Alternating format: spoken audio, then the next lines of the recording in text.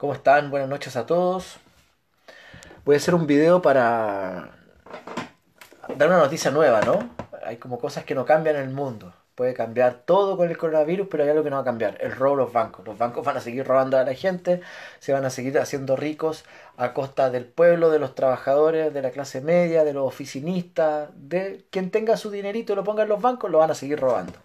Hago alusión al medio nortesur.media, que lo invito a seguirlos desde ya, www.nortesur.media, y dice lo siguiente, denuncia. Sicariato judicial en Chile. Acusan de fraude y falsificación a los bancos BBVA y Scotiabank. ¿En qué consiste esto?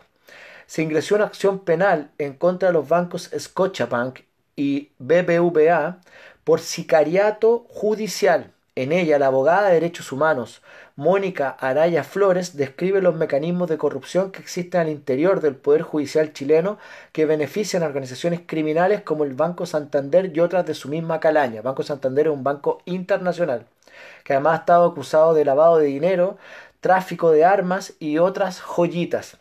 La actividad criminal de los bancos en Chile ha sido profusamente denunciada a partir de la utilización predatoria que estas instituciones hacen del mercado financiero para beneficiarse de los fondos de pensiones de los trabajadores cuyas cotizaciones obligatorias se emposan en las administradoras privadas conocidas como AFP. Se les transfiere a los bancos los fondos de los trabajadores a intereses regalados o ínfimos, y esos mismos recursos son prestados para las entidades financieras a los mismos trabajadores a intereses usurarios, usureros. O sea, son los trabajadores chilenos que ponen su plata en la AFP en los bancos para después que los bancos se la prestan a los pocos trabajadores. Es una locura, es una triangulación. El trabajador le paga a la AFP, le entrega su dinero a la AFP, la AFP lo pasa a los bancos, los bancos utilizando el sistema judicial, utilizando las malas prácticas, después te lo prestan a ti, a créditos y a intereses que no corresponden con ninguna legalidad. Es una triangulación de tu propio dinero. Mejor que te devuelvan la plata a la AFP y no estés pasando por el sistema financiero. Se reclama además que las superintendencias fiscalizadoras, como la Comisión para el Mercado Financiero, CMF, son encubridoras desde el pojo. En la acción judicial se denuncia la falsificación de juicios completos con la complicidad de jueces y funcionarios judiciales tendientes a favorecer a los bancos y usurpar a las personas sus casas mediante subastas privadas entre amigos, donde una mafia de apostores cercanos a los bancos, a los magistrados, se adueñan de los hogares ejecutados por los tribunales chilenos. Explico. Tú pasas tu platita, tuviste un problema financiero, te hipotecan tu casa, te quitan tu casa y el juez que lleva la causa llama a su amigo y le dice, oye pana, oye compadre, oye weón, dicen en Chile, vente que vamos a hipotecar, que vamos a dar una casa al mejor postor. Ese mejor postor es un amigo del juez.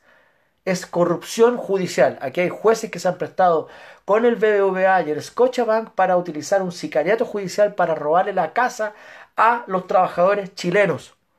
¿Entienden la denuncia? Es gravísimo, es gravísimo lo que denuncia el medio nortesur.media y lo que hace la abogada Mónica Araya, que además es una defensora de derechos humanos bastante insigne y reconocida en nuestro país, Chile.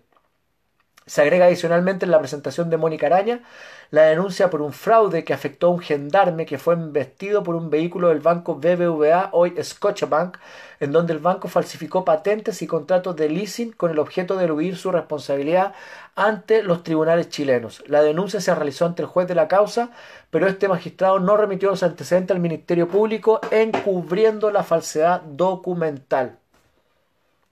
La reclamación penal se interpuso en el séptimo juzgado de garantía de Santiago con el RIT 018 33 2 2020 y en ella se requiere la citación y declaración ante el Ministerio Público por los hechos criminales denunciados del presidente del Scotiabank, Salvador Said Somavía, y del presidente de la Comisión para el Mercado Financiero, Joaquín Cortés Huerta. Podemos encontrar en Norte Sur punto media esta querella en contra del Poder Judicial que busca denunciar la triangulación del sistema financiero bancario en contra de los trabajadores chilenos utilizando jueces como sus empleados para robarse las casitas, la hipoteca de los pobres trabajadores como si no bastara que ya fueran em, estafados por el sistema de la, del Fondo de Pensiones chilena, coludidos con los bancos y ahora con los jueces magistrados y con el silencio vaya a saber uno de quién más para seguir generando este sicariato judicial estafas reiteradas y el robo de esas viviendas, de esas habitaciones que la gente las pierde por pasar por problemas económicos. Soy Patricio Meribel, periodista chileno criado en la Patria Grande. Nos vemos, comparte este video y por favor haz viral esta denuncia en contra de los bancos Scotiabank y BBVA. Y también contra el banco, déjenme chequear la información, un segundo. Sí, contra el BBVA y Scotiabank. A revisar esa información. Nos vemos. Un abrazo, cuídense.